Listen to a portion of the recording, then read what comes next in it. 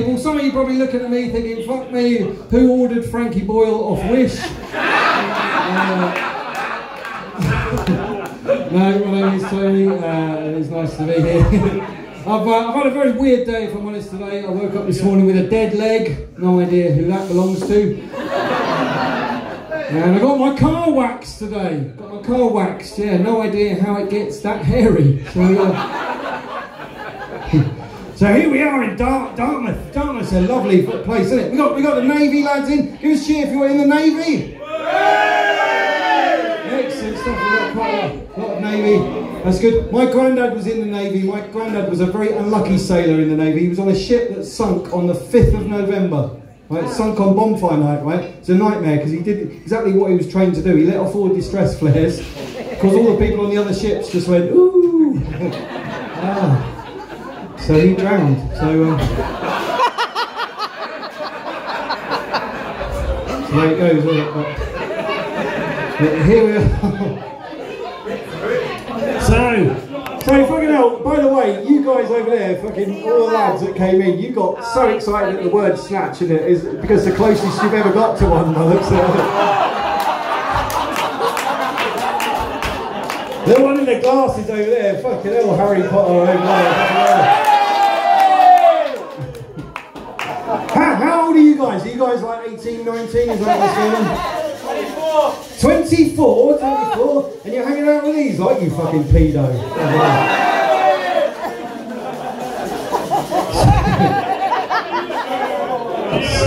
so, so anyway, what do I need to say about myself? Uh, I'm in a relationship, believe it or not. Give us a cheer for me. I'm in a relationship.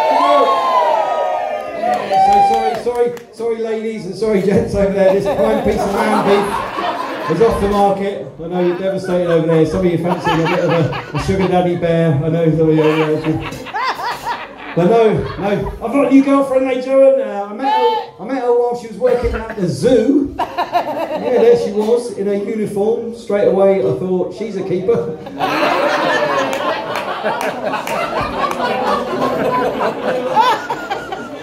That's why we're going to get some proper fucking jokes.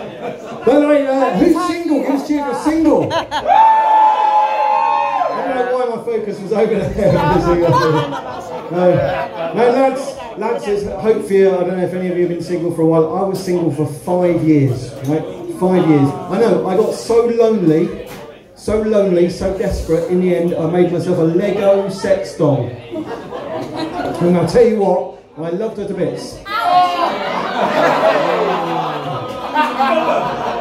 Seriously, she had a fantastic arse, but in the end I did have to break it off. So, uh...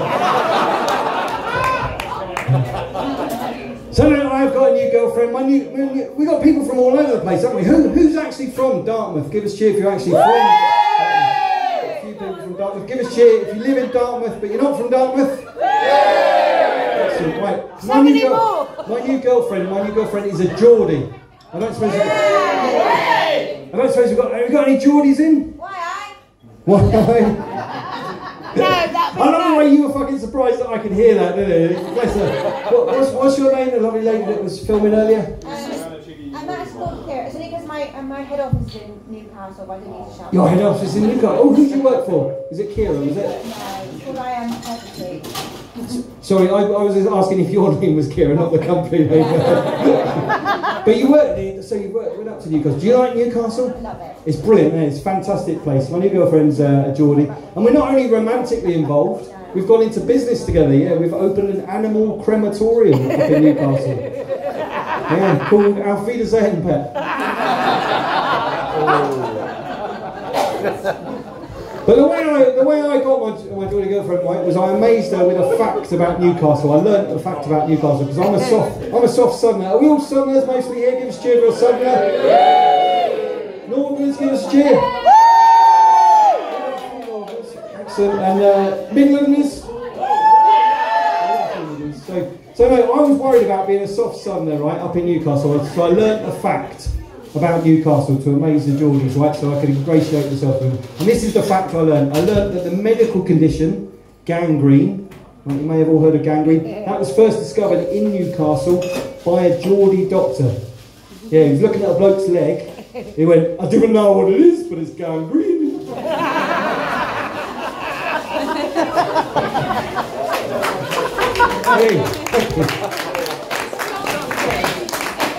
Genuine true story. So, uh, so no, I'll tell you where I'm originally from. I'm originally from East Anglia. I'm a Suffolk boy. I was born in Ipswich. Oh, fucking hell, someone's very excited about Suffolk. Have we got someone else from Suffolk in? Martlesham. Martlesham, oh fucking hell, Martlesham and Heath there. Fantastic. Uh, you're a proper sort of bandit country there, aren't you? That's kind of- fucking hell. Give me six there, fella. That was brilliant.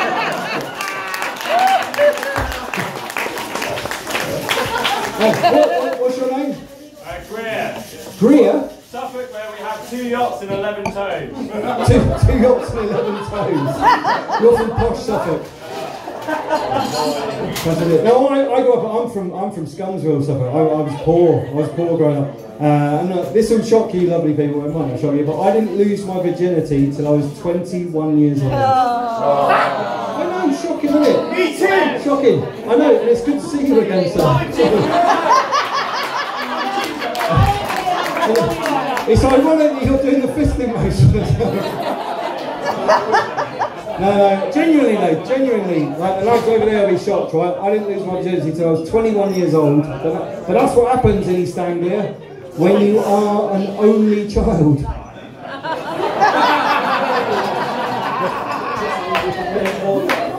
Fucking hell, I'm glad you've laughed at that because it's a brave comedian that does an incest joke in Devon? So, so I noticed some of you clapping a little bit louder with your webcams. So, so no, uh, no, it is nice, nice to be. It's nice to be doing stand-up comedy as well because we got we got the Navy people in. Give us a cheer, people who aren't in the Navy. So we're about- fucking hell, you are very happy not to be in the Navy. What's your name, Fuck the Navy, I'm What's your name, sir? Pierce. Sorry, Pierce. Pierce. Pierce. What, do you do for a living, Pierce? I work in construction. You work in construction, fellow. You're a builder. Yeah, Specialise, I'm fine, mate. specialise in erections. Is that what you- That's, that's great because I've done various different jobs, right? But during the during uh, the pandemic, of course, we couldn't do live stand-up comedy. We couldn't have gatherings like this and it's lovely to be back doing this on this uh, this stage. Uh, there's a couple of pallets, I'm not sure, but like. But no, I had no job for 18 months, right? I couldn't do this, couldn't do stand up, and I had to go back to my first ever job, right? The only job I've ever been trained to do. I went back to being a locksmith later on. Yeah, thank you, yeah, I was a very good locksmith. I uh, studied at Yale. And I have to say that opened a lot of doors for me. and of course it was great because during the pandemic I was considered a key worker. So, But no, I did. I had to do various different jobs, right? And uh, there's a lot of lovely ladies in tonight. The mums at the back there might appreciate this. My favourite job during the pandemic was working at the Rampant Rabbit Factory. Padre's wife is looking away from me. Don't know what he's doing. I don't think she is. your face. No, are you all aware of the Rampant Rabbit? Yeah, I worked at the Rampant Rabbit Factory. That was a brilliant job. It was fantastic. We had a brilliant motivational slogan. It was, if you build it, they will come.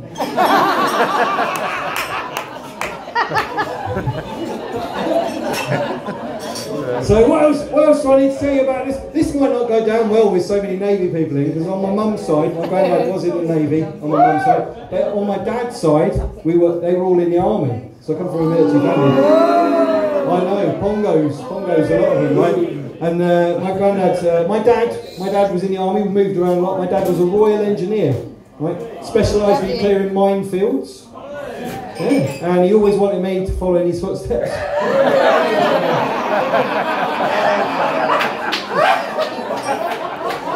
And my granddad, my granddad was in the army as well. My granddad was the regimental Christmas tree. Yeah. Didn't see any action, but he was highly decorated.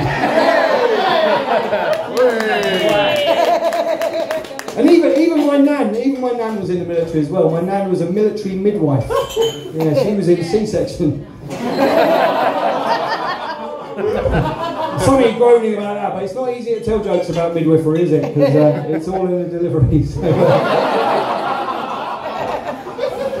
so So you guys, are, you guys are based at Dartmouth at the college there, are you? Like, do, do you guys, have you guys ever heard of a thing called docking? Do you, do you know about docking? Sometimes called space docking. Are you lads aware of this?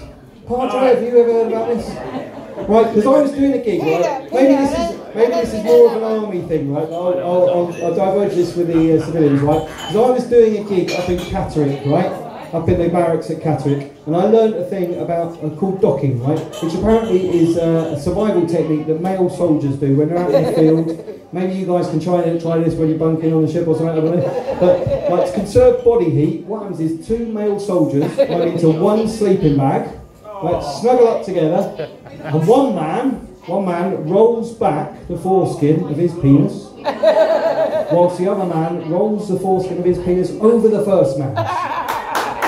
So they're linked together. Peter, you, Peter, you. Apparently, standard British Army procedure. Or so I was told by the bloke I was bunking with in Garrison.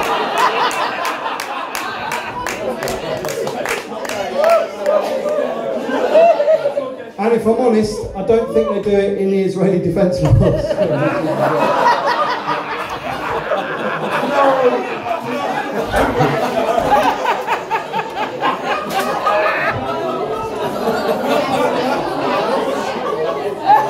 Look, we can see the guys pairing up now, so who's going to try it later on. Keep the winter night straw in, guys. You can try it later. That's good. So no, I. Uh, I tried to use. Uh, tried to use lockdown effectively later. I, uh, I wrote a film script during lockdown. Yeah, I wrote a film script. I've sent this to Hollywood. Uh, it's about a constipated detective. It's about a constipated detective. It's called No Shit Sherlock. Because I went when I was a lad's age over here, when I was like, uh, I was just in my early twenties, I actually went to Hollywood. And gentlemen, I went to seek my fame and fortune when I was a young man, right? And I was in my twenties, and like a lot of young people, I went out to LA to try and make my fame and fortune. Didn't didn't go well. I didn't make my fame and fortune. I ended up destitute, ladies and. Ended up penniless on the streets of LA, right? And the only way I could make any money was to like do things that I wouldn't normally do. And I'll share this with you lovely people because it was one of the darkest moments of my life. And when I found myself spanking, spanking Dwayne Johnson, that was when I really knew I'd hit rock bottom.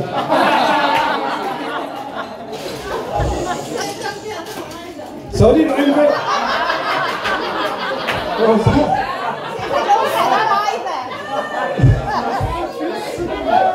Hang on a minute, someone said they don't get that either.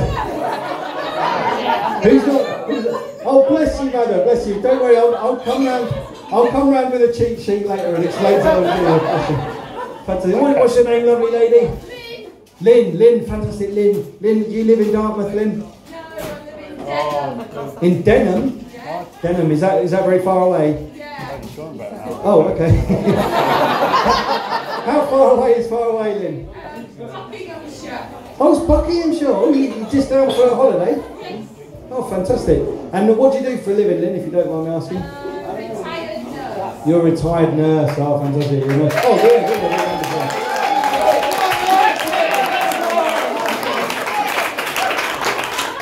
good. Oh, I might talk to you about some health things in a minute, Lynn. here's, here's the thing, Lynn. Did you work for the NHS, Lynn? Yeah.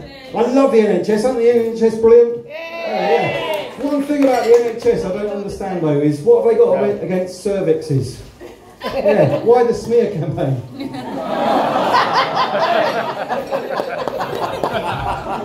Actually, Lynn, Lynn, I'll talk to you about this actually. I- Have we got any other men? Because I, I, I turned 50 at the end of May. Have we got any other men who are 50 and older? That is, the, that is the cry of a 50 year old man. What, what is your name, sir? Uh, ginger. Ginger, look at you. You look good on 50 though, Ginger. Ginger, can I ask you one question? Have you had the male health MOT? No. Have you not had it yet? No. I don't know. Do you, maybe this is a Navy thing. Do you, do you guys have to have a full health check when you join the Navy? Because when I talk to people about the male health MOT, Ginger, right, they normally know about one one thing that they. Sorry, I probably shouldn't do that for the one thing they check. Because they do all sorts of things. Lynn will know about this as an NHS worker. They check all sorts of things.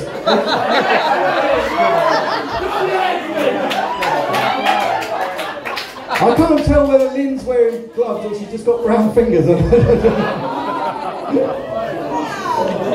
oh, that was too far. was it? Sorry.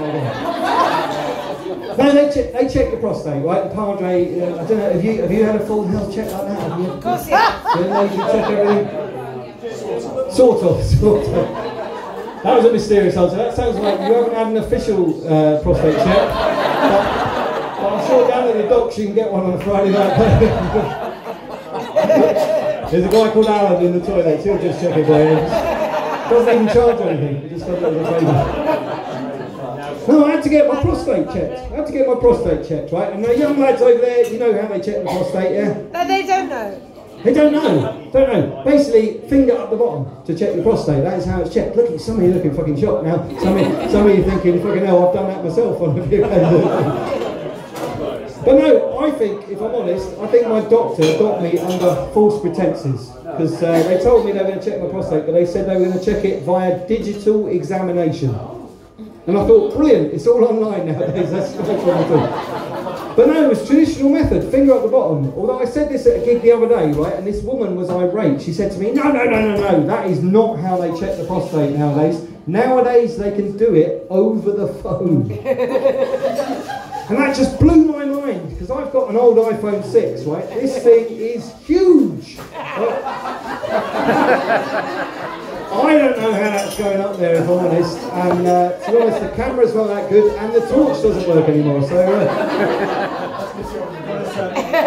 now I had, to, I had to do traditional method. I went to a proctologist, uh, and if I'm in, if I'm honest, he was an incredibly lazy man, and in the end, I did have to tell him to pull his finger out.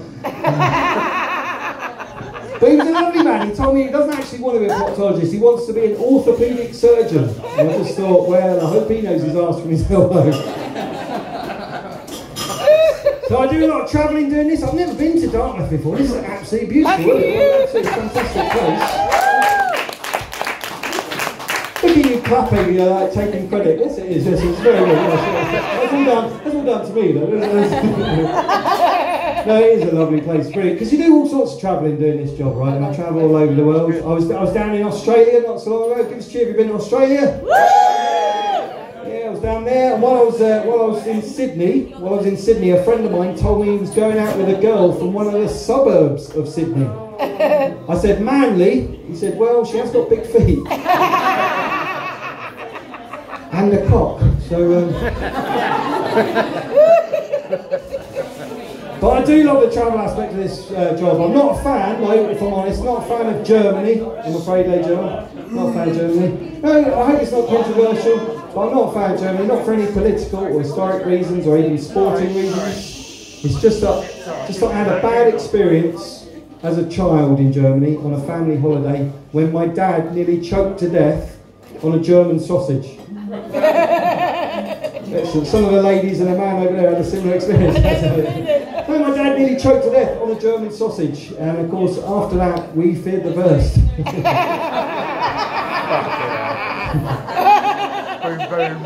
This lady, a meat-based pun, she was just like, no, I'm off, I'm out. No, I do love the travel aspect. I was, uh, I've, I've been down here. Uh, I was down uh, in Devon today, and I was, uh, I, I, went into one of the Waterstones bookshops today. That was quite, quite good. I was uh, in there because, and I went into the travel section because I do love reading about travel as well. And I saw a book. There's a brand new book out today, right? And it's called 101 Places to Visit Before You Die. I thought, oh, that's interesting. I picked it up, flicked through it. Didn't suggest a hospital. number one answer there, Joe. number one answer, number one answer was the Taj Mahal, which, if I'm honest, is not even the best Indian restaurant in Dublin. oh, we got Taj Mahal fans. Brilliant. No, so uh, so I am originally from Suffolk. Like I, I was born in Ipswich for the, the lad from Marsham there, and uh, I'm a village idiot. It's not hard to confuse me. It's not hard to confuse me. I got confused the other day. Some of you may have heard people say this. Someone told me that 40 is the new 30. You heard people say 40 is the new 30? Yeah, but I hope 50 is the new But you try explaining that to a speed camera. or a Welshman. Or a Welshman. I'm not entirely sure that makes sense, but let's go with it. Are you a Welshman, sir, or have you had experience with a Welshman? Speed limit's now 20, isn't it? Sorry? Speed limit's now 20. Oh, they've gone down to 20 over there, haven't they? Yeah.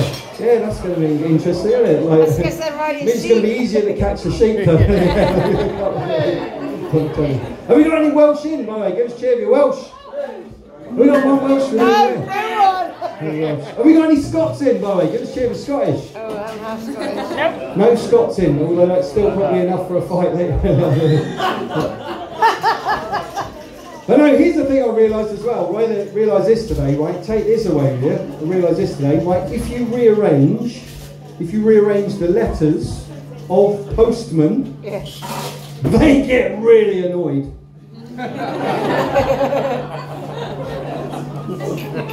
And I bumped into my neighbour today, right? My neighbour told me some sad news. He told me that his wife had been killed by Spanish terrorists. Yeah, I said, ETA? He said, no, they blew her up.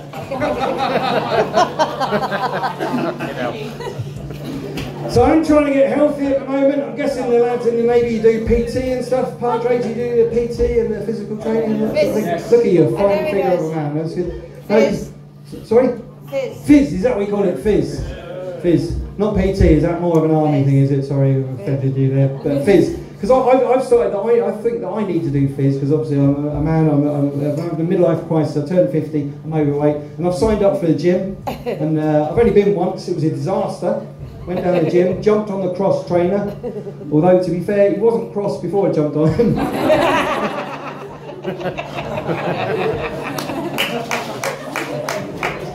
Thank you, madam. One, one lady clapping there. That was good. You, you were hoping to lead a round of applause there, but it turned, I like that it turned into an applaud, didn't it? That was amazing. But, uh, Just from me, just either from me. thank you, madam. Either you're clapping there or you're just putting some ketchup on your chips. I'm not sure. But, but no, I, uh, I did, and I did a bit of research as well going to the gym. I found out the word gymnasium, you seem like quite a le- learned crowd, you might know this, but the word gymnasium in ancient Greek actually meant naked exercise. But you try telling that to the receptionist at Fitness First. and the police when they turn up. Apparently now I'm on some sort of register. Goes with the beard, I suppose. But, uh, yeah. but no, I was quite proud of myself. I was quite proud of myself. I was asked this year if I'd run the London Marathon for charity. I was asked if I'd run the charity, and I thought about it, AJ. I did thought. I thought long and hard, but in the end, in the end, I said no. Mainly because I've no experience of organising an event that big. I know it's for charity, but 40,000 people into that thing. I don't think I would handle the admin. It's not me. But, like, does anybody here run a marathon, by the way? Give us you run a marathon. Oh, have you run a marathon, Emma? Excellent, what's your name? Emma, fantastic. And uh, which marathon did you run? You did the London one. And did you do it in fancy dress? Did you do it in fancy dress or just in your running gear? Always fancy dress. What was your fancy dress? No, you just you dressed as Mo Farah. I hope you didn't go for anyway. We won't go there. And what was your time, Emma? What was your time? Just like four. Oh, give her a big round of applause. There you go. Oh, that is brilliant. And what charity were you running for? The British Legion, Royal British Legion. Fantastic. Very well. Very, very, very, very. That's fantastic. No, 'cause I, I do. It's one of my ambitions. I've got two ambitions in life, if I'm honest. Uh, one is to open the world's greatest pub for short people. Yeah, although I do, although I do, I do worry that I may have set the bar too high. But my second ambition is to run the marathon, the London Marathon. I want to do it in fancy dress. See what you think, Emma, right? I've had this genius idea. I want to run the London Marathon dressed as a jacket potato. Right, yeah, I'm going to get a baked potato. There's another jacket potato fan over there. brilliant. I'm going to get a baked potato costume, right? Dress up as a jacket spud with little legs sticking out the bottom. To run 26 and a bit miles. Because when I cross the finish line and they wrap me in tin foil, it's complete. So yeah. So I, I'm like to say I'm an idiot, but I am quite creative. I think that's why I got in stand-up comedy. Quite creative, and uh, I love that program Dragon's Den as well. Have you ever seen that Dragon's Den? The inventors go on pitch their ideas, and I've invented a product right, which I think is going to make millions. This is where I really think I'm going to make my money, right? See what you think, ladies and gentlemen. I have invented a medicated shampoo, right? Not only clears up your dandruff, but also helps alleviate arthritis on athlete's foot. And we're going to market this as head and shoulders, knees and toes. Thank you. Yeah. So I, figure, mums, I figure if the adult version works, then we can bring out the junior no more tears version. It'll be head and shoulders, knees and toes, eyes and ears and mouth and nose. so I do, I do have one of those brains, if I'm honest. I'm very creative, but I do have a brain that I can't switch off sometimes. I don't know if like, like Emma, you a like that. Do you get to sleep all right? Or do you, do you when you Headspace, are you using the apps and things? I need to do that because when my head hits a pillow, that is when my brain suddenly kicks into gear, right? My brain starts going crazy, like with thoughts going through my head. Quite often, Emma, it's, it's questions. Questions keep me awake at night. Philosophical questions like, can you get acupuncture to cure pins and needles? Is Cajun chicken the opposite of free range chicken? Do vibrators come with a list of dildos and dildos? What's called the underneath of an elephant? That was keeping me awake the other night, right? Emma, what would you call the underneath of an elephant? It's a mad thing to be awake trying to think of, isn't it? But what would you call it? You call it the belly? Yeah, but I've asked other people and they've said it's the chest, it's the torso, flanks. I've had all sorts of different answers. Because that's the problem, isn't it? There is no agreed term for the underneath of an elephant. No, it's a huge grey area.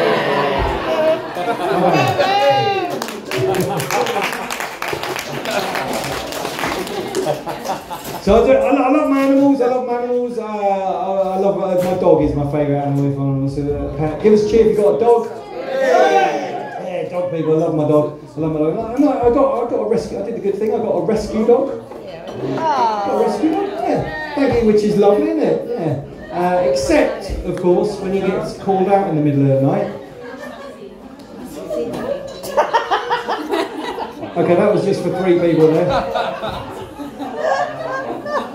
It's- Did everyone get the guys over there? Did you get The, life, the lifeboat boys got it. Yeah, They got it. That's The good. Okay. boys got it. Are you, are you, lads from the navy? Are you aware of a rescue dog? You know, if you- Fucking hell! I didn't realise this was going to turn into a workshop. This is Because a dog from a dog's home, yeah, would be called a rescue dog, yeah. But I thought, wouldn't it be funny if I meant it was a rescue dog that went out on rescues? We got it. to We rescue people. Look at them, they're looking at me going, no, we got it, dickhead, we just didn't find it funny. Nina, Nina, go and save us all. Uh, my next door neighbours, they've just got a new dog as well. They just found out that she's in heat, which was a surprise to them because they didn't even realise she was a celebrity.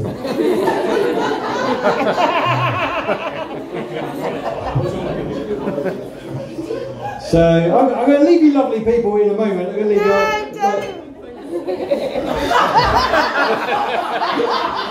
is that, is that, you, is, that's Kate, is it? Is it Kate?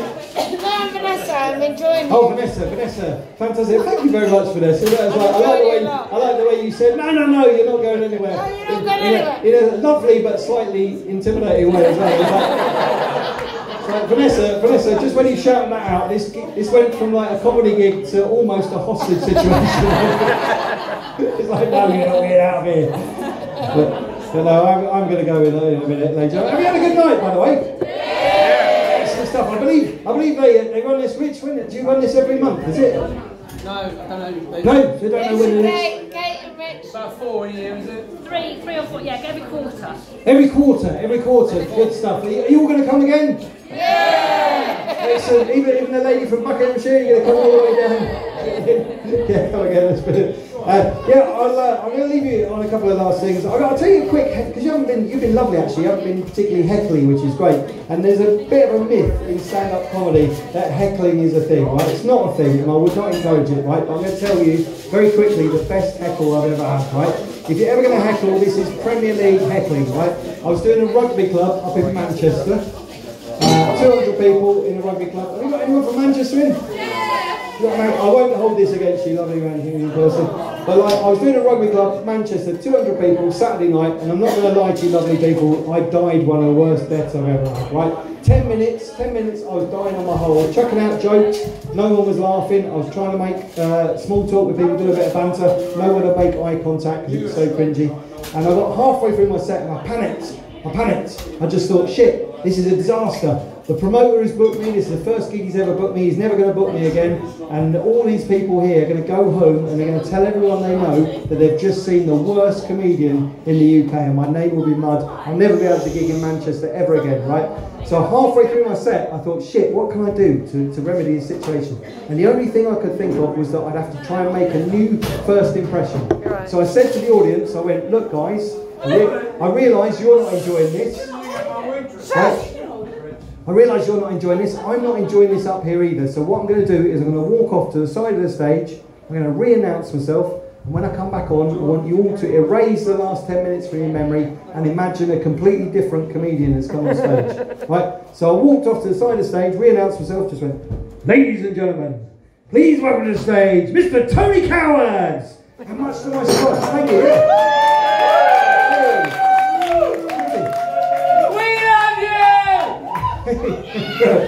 And much to my surprise, they did that. They cheered and whooped and went crazy, even though I'd stunk the place out for 10 minutes. And I thought, brilliant, they're going to give me a second chance. Fantastic.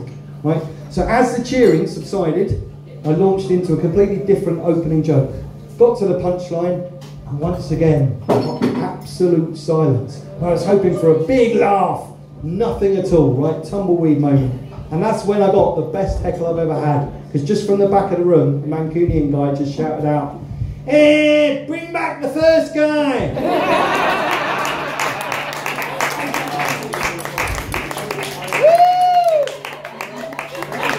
Which is heckles going ladies and gentlemen, it's pretty devastating. So, uh, so anyway, ladies and I'm going to leave you with this because uh, I didn't bring it with me. I think it belongs in the.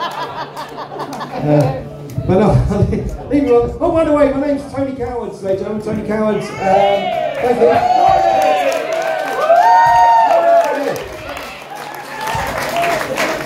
Thank you very much. Uh, and uh, you know the young lads and all the people here. Uh, if you uh, if you want to follow me, uh, I'm staying in a hotel just around the corner. So, so I'm just going to walk around the block, basically. Uh, so you're quite welcome to follow me. Um, it's good. Uh, no, social media and stuff, me. That'd be great. Um, and I'll leave you on one last thing, right? Because I am, as I've got uh, older, I've got into slightly alternative therapies, right? Dart, Dartmouth, gives, I get a bit of an impression it's a bit like, are, are you a bit hippy dippy around here? They got like loads of acupuncture and, and mass. I don't know why I'm looking at you, Emma. Do, you- do you know the scene?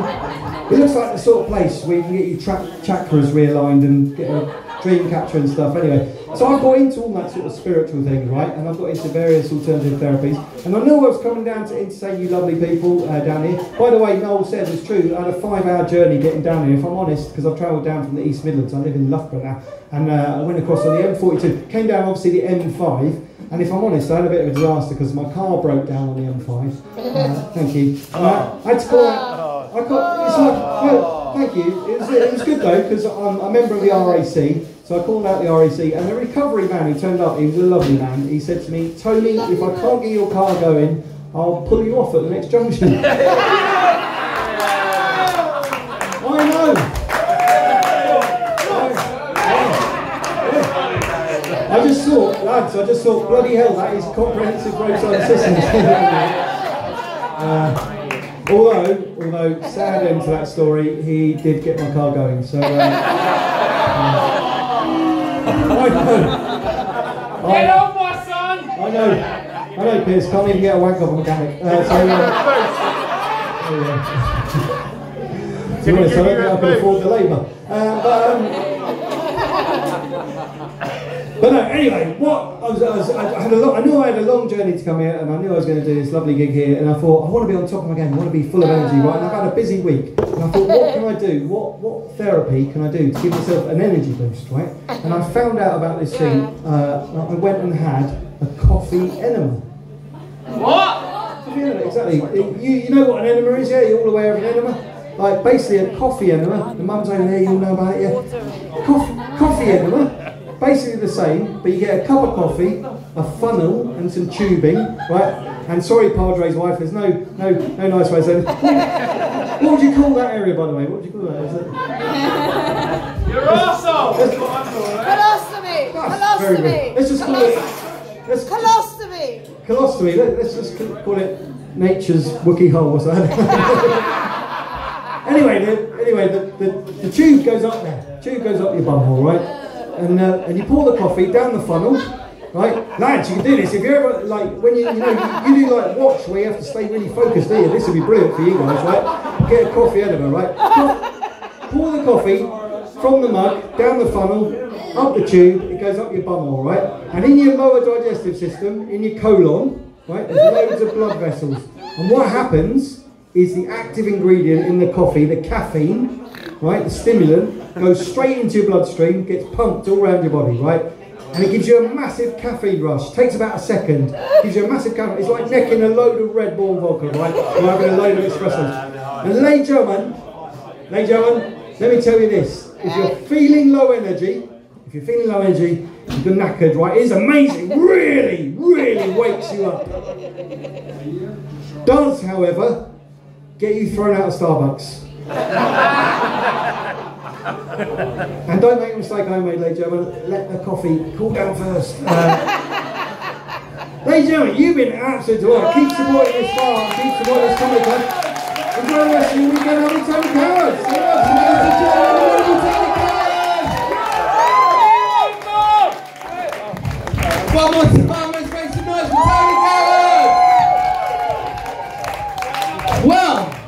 We got away with it. We've had a gig. We've had a gig. We thought it was going to be uh, something.